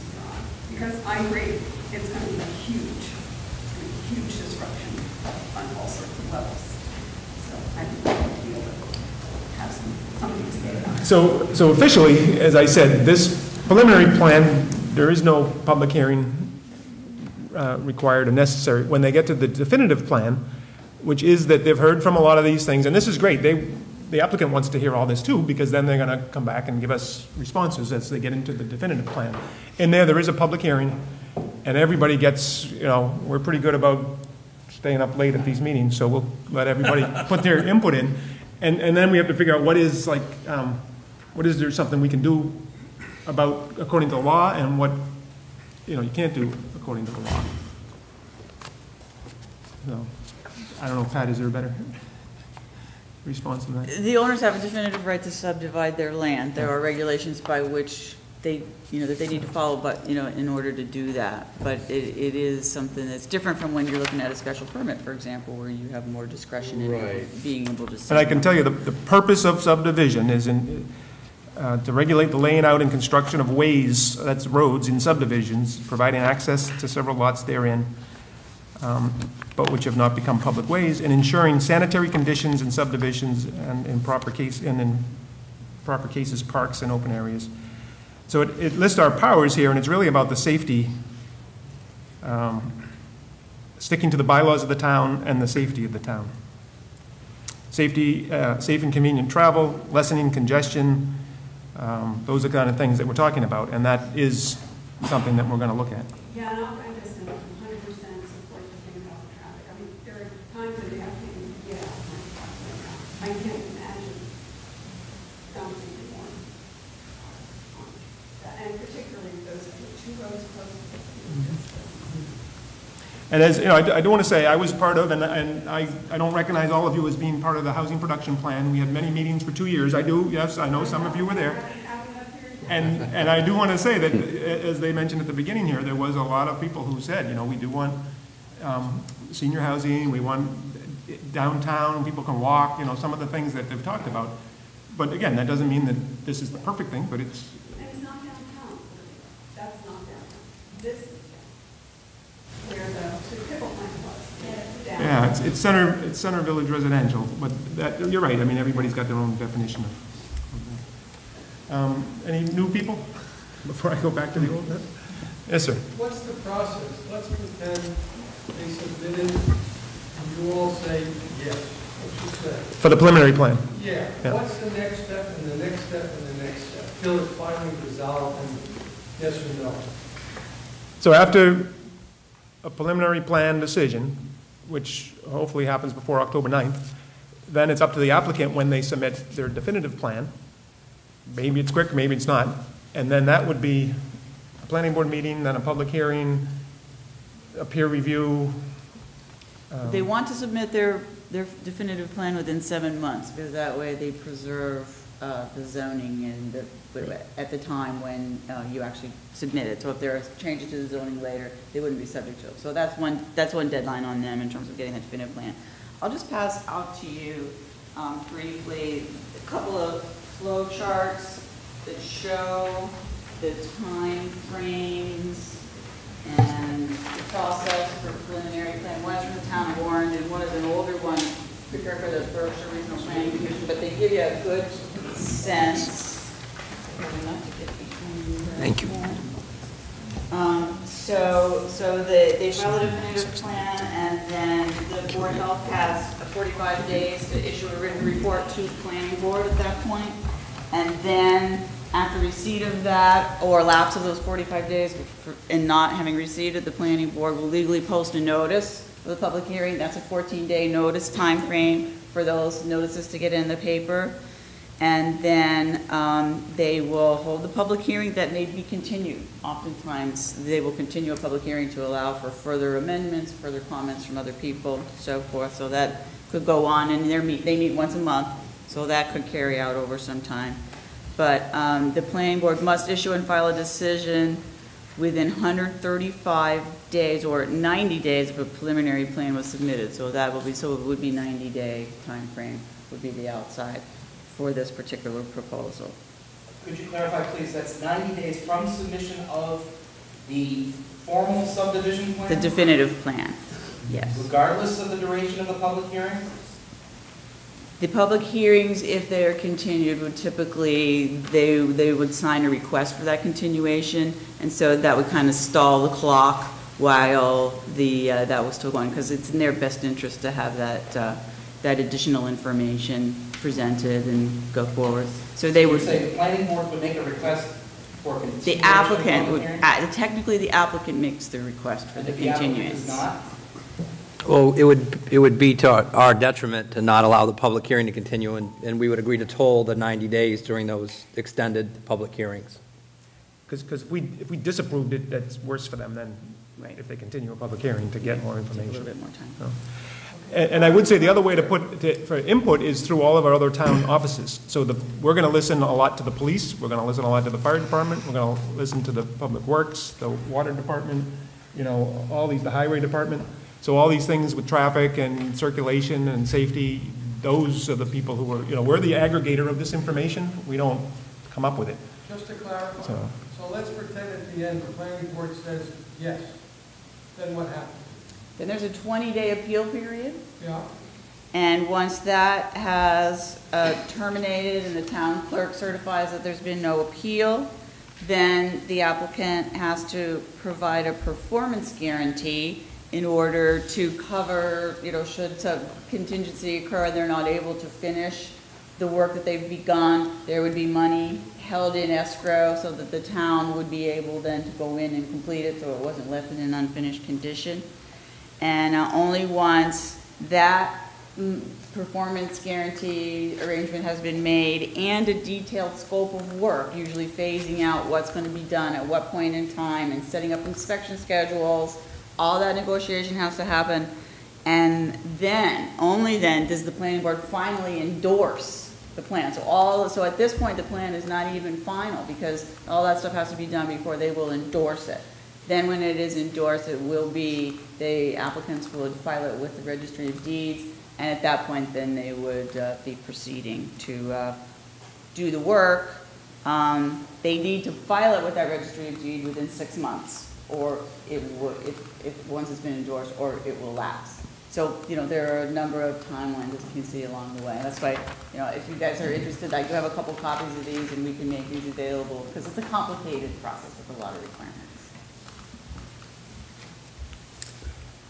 Same hands, there's anyone? new one. I have a question. I just want to go on the record saying that, sorry, but I think this is a really good plan. Thank you. I think it's incredibly well planned out, and it's succeeded in Easthampton, and in Greenfield, and in so towns. And nobody's built anything in this town in so long It's ridiculous. I know everybody's NIMBY, NIMBY, NIMBY, but this is a really good idea. And this is going to say, you know, ultimately, a lot of you are going to want to move here, and I might want to move here too. And I honestly don't think that people of this caliber are coming up with a crazy scheme that's going to flood everybody's basement. I don't want to make a speech, but I really think that in the deep heart of hearts, this is really good compared to what we could get. I wish it was in the pickle factory, but they didn't buy that way. Tried.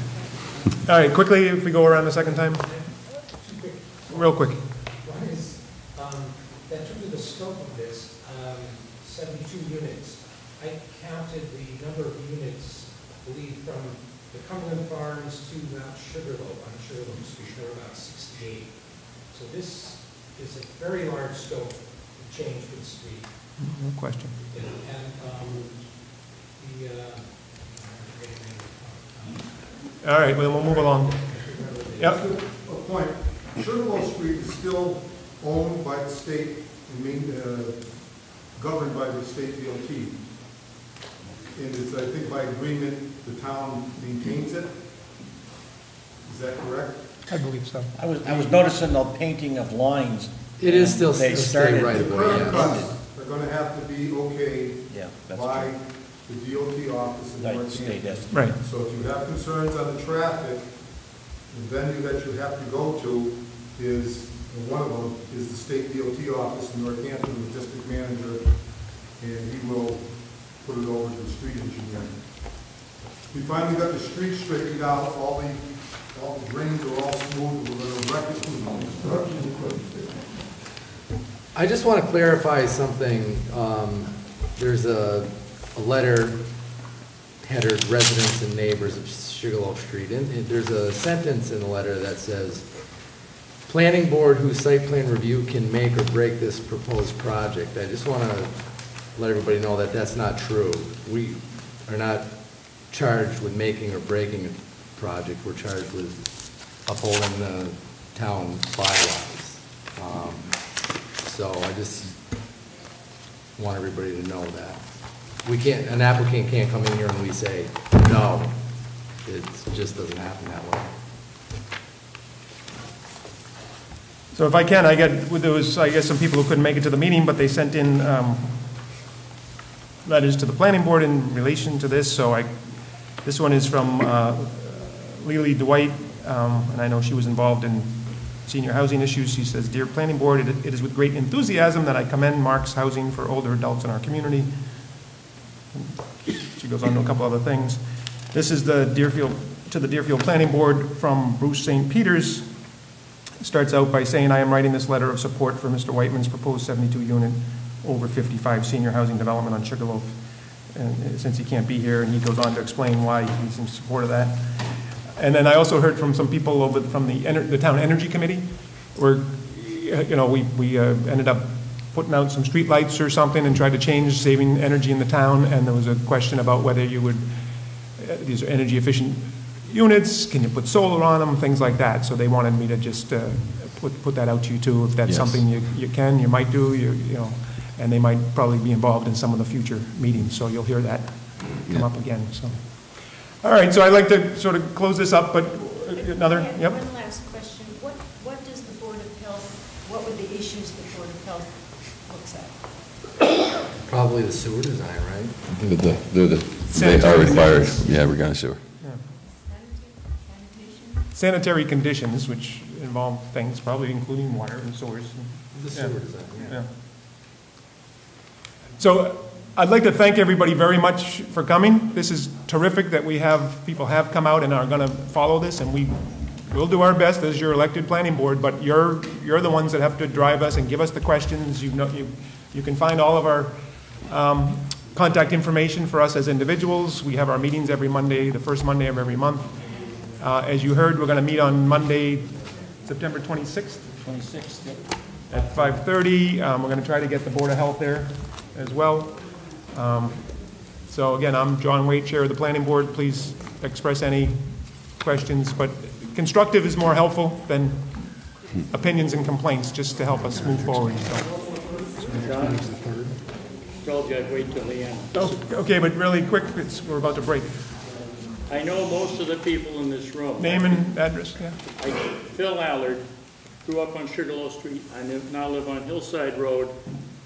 Change will come, change will happen. The important thing is to protect what we all love. That's the anxiety in this room right now. People don't want things that they're not accustomed to, or they can't, in a sense, control, okay? We got a very good handle on this, as the gentleman over here just spoke up, he says it's a good project. I listened carefully through the whole thing. I heard very positive things that can happen from this. Uh, John Bromus, you mentioned the traffic count on Sugarloaf Street. What's the traffic count coming out of Crestview? Oh, I have no idea. Okay, but if, if- if you stop and look, stand over at John Church house and count the cars someday, it's not that busy. And I don't believe this is going to inject that much more traffic. So I appreciate, I hit a nerve. I hit a nerve. all right. I'm sorry. So I appreciate everybody's comments, and we look forward to seeing you at, at future meetings. So our next meeting here October is 3rd. October 3rd. October 3rd. 7 o'clock. Yep, 7 o'clock.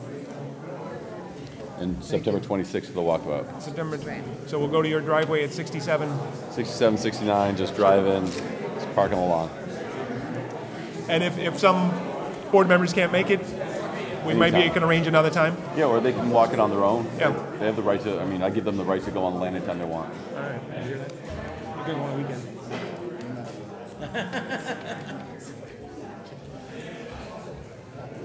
All right, so we have two A and Rs that we're going to review. Anybody's welcome to stay and uh, uh, participate in that also. Well, you're not done. So much excitement. All right, we'd like to continue the planning board meeting, and we're going back to item,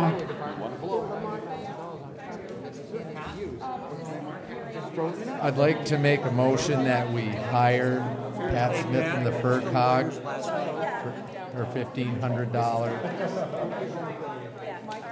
estimate for site plan review, or for peer review. so there's a motion on the table. Second. Okay. There's a motion on the table that It's we, been uh, seconded.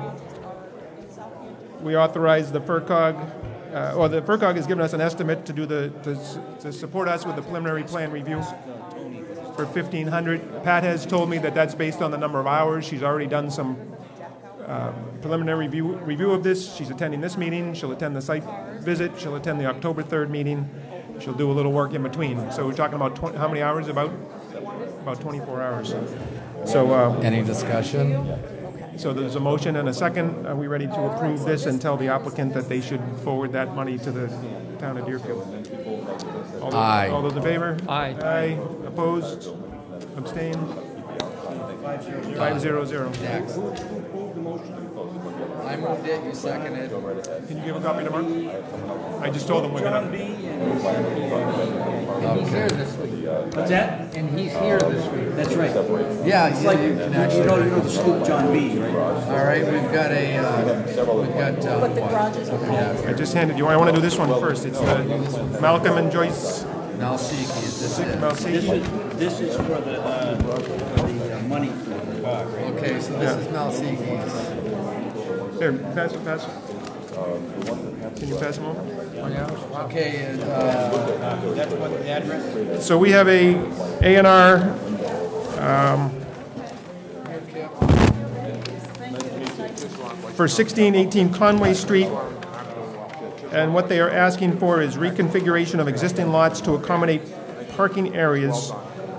The number of existing parcels is two, the number of new parcels is two. So they just want to re- reconfigure. I, I, looks like they want to pass some land. changing, changing, the old boundary line was this way, this, they just made more parking. All right. Yeah. Does everybody see that? So they're not changing the frontage at all? Nope, not no, and they're, they're actually taking a lot that, making it more. Making it bigger. So, I Instead mean, a straight line, if shifted that's really truly, And what's line the here. purpose of the shift? To create more parking for lot, or for lot one. Yep. More parking in lot one? Yep. Yes. Okay. Now, what is that little, uh, little strip there? Because they need the frontage? No, that, that's, that's an old, old plan. I remember when this house was built, the Bloody Brook is right behind. That's, you know, it's Oh, so nothing that that. was already there. Okay, It's good. All right. nothing that we need to worry about. Yeah, okay. I- I'd like, I'd like to make a motion that we endorse, uh, plan of Mal and Joyce Seeking. I'll second it. Any other discussion? All those in favor? Aye. Aye. Opposed? Abstain? So five zero zero? Five zero zero. Doug, I, Doug, I don't have a second page to that. I I often don't get second pages, and that's what I'm supposed to sign and say that we endorsed it. Oh, okay. It's not a lot on the second page, but there is some stuff, so. But I I do see that the fee was paid, so, um, so we can endorse it. Doug, did you get the name of the lawyer? Yeah, I guess that's, let's make sure. Graves? Dan Graves. Oh, he's the new, uh, I didn't, I didn't realize that. Yeah, yeah, it's okay. um, Okay, does anybody have a black pen? Good, we're in the middle of a, we're gonna finish up our meeting. We don't need a Sharpie, just a black pen. No, but then, uh, how, you gonna- how long you gonna need it for? Well, I'm gonna sign, I'll sign my signature four times. I think I do, yeah. Who's this guy here? Trump. Is John Wade looking at me right now? Yeah. I'm one, I'm, I'm one of the That's deck. okay, where do I get a hat? Oh, he sends them to me every day. Does he? Yes. You send them fifty dollars, you get a hat. I get box, no, boxes of them. Good, send them all to Massachusetts, so there's nothing less for the rest of Give the. couple hats then. Oh, sh- Um, What did you do, John? I signed under dated. They'll be all That's right. all right, we'll put the date there, it's okay. What is today, the twelfth? Well- It is the twelfth, nine, twelve. All right, Pat, we need you on this one. Yes. Have you seen this one? This is a funky. uh, I did see it, This is I. the funky A and R. Yep, I did see it. I did some more research on it today, John, since we talked. All right, we gotta sign this other one, and then, uh, we can start looking at this. I only signed one, I'll come over there. What's the deal on that one? It's a little different.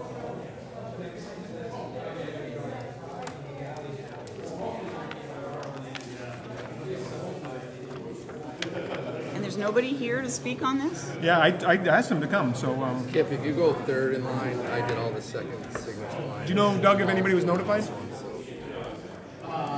They submitted it, they t- were told it was gonna be on the agenda for today's meeting.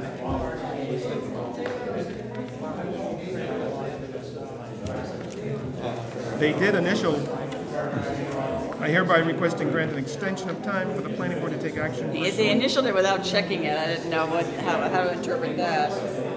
I didn't even notice that. How about that? It just says, please initial here, so they might have just seen it and done it, you know, but they didn't actually check that they Something were. that we can act on tonight, or is it? Well, that's what we're just looking at, it might not It's be. very complicated.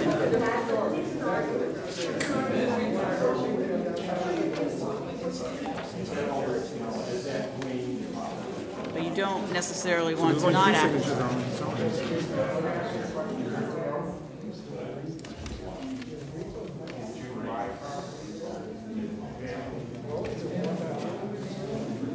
So can you two sign, there's only three signatures on a lot of them. I've already signed all four. Does our bylaw say when you have to have two hundred feet of frontage, is it contigu- contiguous frontage? It has to be contiguous and you have to have access over it. I don't care. Yeah, this is pretty. You must have access so over it's that. absolutely not a building lot. By your definition of frontage. So you have identified the very biggest problem. No, it's not. Totally not. Um, Furthermore, not only you, you- you have to have real access over that. Well, I I And, mean, I- um, you could have access there, but I don't think there's enough footage. Well, I'll tell you, see the little place with, the- down here on the right with the jog? That comes up to 200 plus the 15 on each side of the jog, but I was like, what the heck is that jog? So I looked at it on, We're talking, so, sorry, sorry, sorry. So now we're looking at the A and R for, um, for River Road, 264 River Road. Um, What they're asking for is to combine two parcels to create one building lot, combine parcel B to a budding, to a budding property. So it's not real clear what they're looking for, but Pat has, saying is the the frontage, is to skip this. Which one do they want to combine? Well, you have, it has to be contiguous on one side, okay? So the only place that they have, there's only like 50 feet over here on this, this, this lot now comes all the way and loops around. So there's only 50 feet here, so that can't be the front. Right. Says no So frontage. it has to be this here, if you add up the. It's 200 feet. It's exactly 200 plus, there's these juts, which are 15 feet in. Right, What which, heck is that? we take that away from Well, our, so I looked online at the properties, and it turns out that where that juts in and out is, there's a, there's a stream that goes across there, and that is a culvert. Yeah, So there's a stream that runs right up in through here, yeah. and that is a culvert. So technically that So can't I be don't think considered the that can frontage. Because we take, Yeah, yeah, you oh, can- that's not a passable, uh, Yeah, I don't know. It's still frontage. I don't But see, you have to be able to literally drive over that frontage. but doesn't, not in the middle. But, no, Pat, can they go to the side of that? they could go to the side. It looks really tight, Well, no, you got 80 feet, so you could go that way. but you're, really- you're within 200 feet of the street. No, Right here, though. Well, that's something else, I mean, you could go right in here. But that, the property doesn't seem to go up that far. Oh, my God, this is The a property crazy map. cuts off this corner. Hmm. See how, see how this goes like this? Yep. It cuts it off seemingly back to around here. Yeah, but with this point right here alone, it's, this, this narrow point here, that doesn't, it's gonna, it's just, So I think it's I'm not very endorsing questionable. this, I think yeah. it's questionable as to the frontage and access across I it. would like to hear from these people. yeah, that's fine. Sure, Have some questions I prior. can't They endorse did it. give us permission to, Well, um, it's, is it- it's sort of signed, but it isn't really. Is that, can we count that as legal? yes, They I, signed I, that? they, the initial word says, I hereby request and grant an extension of time to the planning board to take action pursuant to Either that or this it's application. unendorsed. August twenty-sixth. So you have to act on this within 45 days? like- No, no, it's Twenty more- for A it's less than that. Twenty-one twenty-one days. And is it calendar days or, or, or business days? But it's, it's in their best interest to explain it and have us sign it, because otherwise they're taking a, I mean, we can, we can, we can reject it right now or or tell them they can, But you know. John, We don't reject, we just don't endorse. there's enough I mean, frontage, filed a endorse. report saying you were, that you are not endorsing it um, for X reason or. and I understand that there's an issue with the brook, but shouldn't that be somebody else's job, not ours? The the one thing we look at is accessible frontage.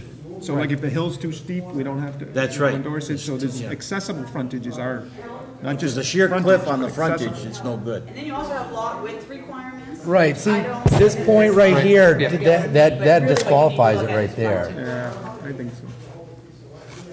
The fact that they have deeded Well, they don't even tell us what the width There's is a there. do deeded they? right of way across this side. If they're using this frontage over here to access over here, but that right there is, they're just, that's, We can't create, it looks like we'd be creating a non-conforming lot. Yeah, I don't want to create a I had non. The whole originally- I had originally thought that, you know, that at 200 feet of frontage, that you could sign it, and- but it would nonetheless not be a building Definitely not lot, and that the building commissioner would never give a permit. Uh, what they're looking to do is change lot lines. You're not making a determination as to whether it's buildable. Right. whether it's legal. But No, their- but- their but the- determination but the is frontage- the frontage The frontage, provide real yes. access to it, and Yes, that's the one thing, we- That's- that's, that's that's one of the two things we we look have at. to do. The size and the accessible frontage are the two things we're supposed to look at. really. That's right. I mean, when we did, when we did the, um, all these angles and widths and everything, it was all to prevent stuff like But that. it- it's Dan Werner, so. If you had, if you had 200 feet of frontage and a sheer cliff, we He can must deny have a that because reason. it's not, a it's not, it's not accessible. He's not And we arbitrary. can, we can deny it for that No, reason.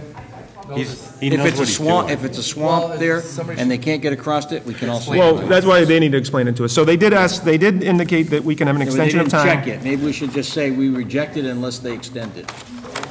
Well, I see them as, as initialing this, and I think they gave us Well, an Pat Pat extension. was There was saying, no date that was specified there. I mean, I, I guess, we, I don't know, I don't have to guess your discretion. I don't know, or the chair can determine that they, that was checked, and so that that's a request. and Well, it's they- to they their give best them- interest that it, that it's endorsed. can we, can we Because if it's return this to endorsed- them to, to clarify it? And I, I think Yes. you also need to get the zoning enforcement officer to basically describe how this is a conforming lot and how they would access it.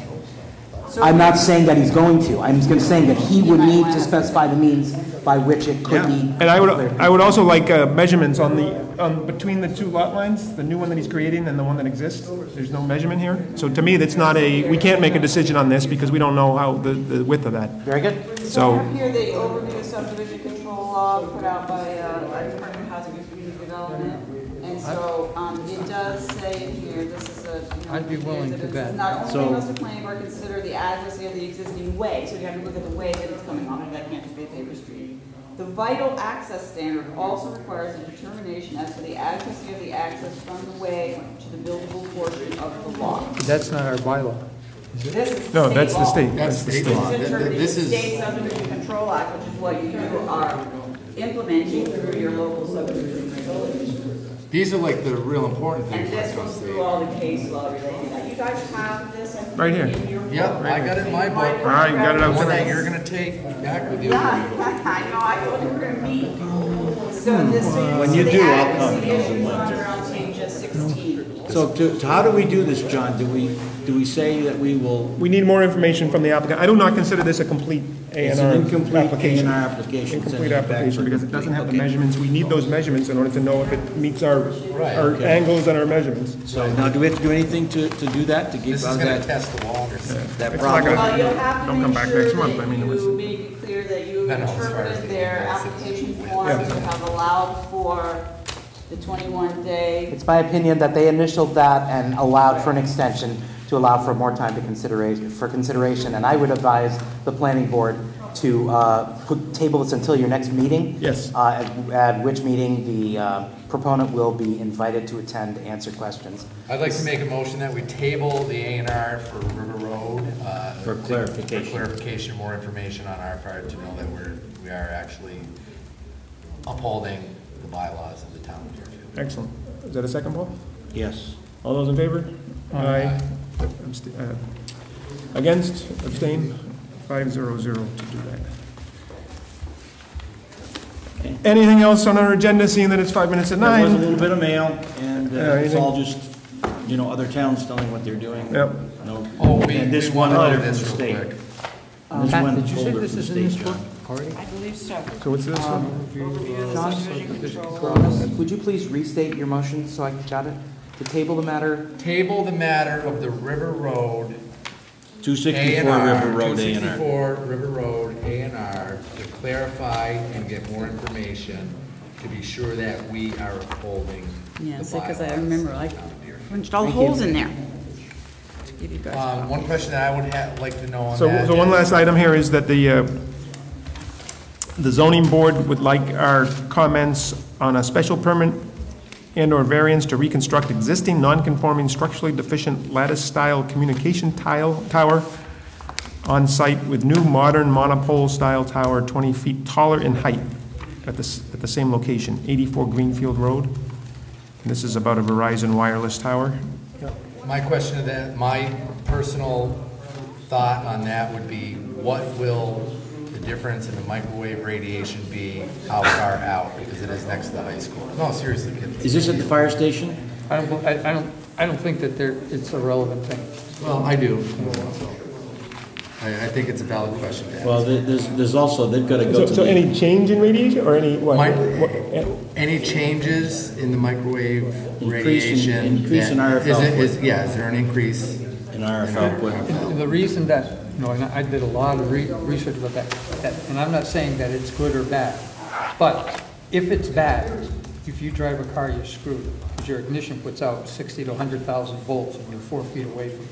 Well, what- what- this, this It's not tower the in voltage, particular- Chair. It's not the It's the voltage. electromagnetic waves of the process. Right, but, it- but the, it's also the frequency of it, because at the, at higher frequencies, it's more relevant to the It body. shakes more. It's, Yep. it's more, uh, I think somebody's, I think it's ninety-five megahertz, which I don't think it's gonna be, but ninety-five megahertz is a resonant frequency of the human body.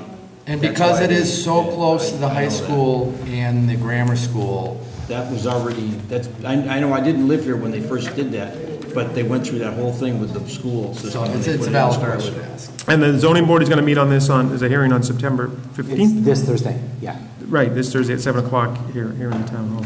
As So, far as height and stuff, so, They do a so height, balloon we don't have an test to issue show with. how, what the height, new height is gonna be? Have they done that? twenty feet. 20 feet repeat higher than that, the John, current what you pole, just so. So they're just Uh, And it's figuring what, everybody can 120 feet? eyeball. Our comments are, is there any changes in the microwave radiation or frequency? This is uh, not far away from the schools. This is on Thursday night, And Thursday night is when the hearing is, hearing is at 7 o'clock. okay. And then no issues with the height, for right? So, Even a side height comment, we're, we're talking about this having the not frontage tonight. and stuff like that. So I found this whole little. Do I have a motion to, Whole process of dealing Uh, with. Franklin County, And the, the uh, Franklin County the case planning, nothing about it. happens Yeah. Is that in here too? No, but this is in the book. Okay. I'd like to make a motion, whole we uh, Yep. adjourn. We. Second. There was a a lot. All those in favor? John's, Aye. where, you know, the Abstain? guy had a hundred. No. Eight fifty-seven. five zero Shut her down, Chris. Went-